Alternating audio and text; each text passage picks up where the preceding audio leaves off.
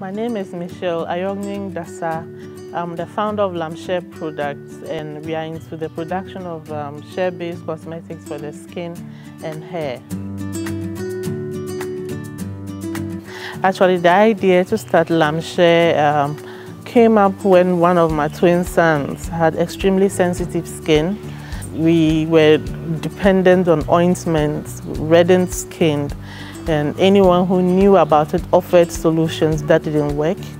And we got gifted a bottle of neem oil because someone found out it could help. So after a little bit of research and mixture with shea butter, it worked.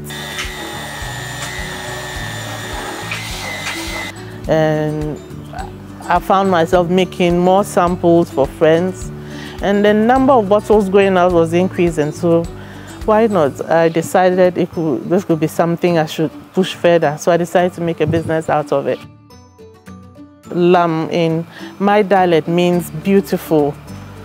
Once you, you are able to get nature to soothe the skin, heal, you feel beautiful, you are stress-free. So Laam just seemed the best name to use. One thing we ensure is, is to create our products without having to break down the, the beautiful qualities and properties of the ingredients. E-commerce in itself gives us the opportunity to reach a wider market. It doesn't uh, limit us to only um, Ghana. It enables us to market our brand and products to a wider market.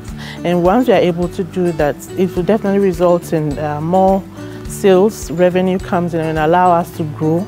And once we are able to grow, the the women cooperatives along our value chain, the suppliers of our ingredients would also have some form of livelihood to also improve their current states.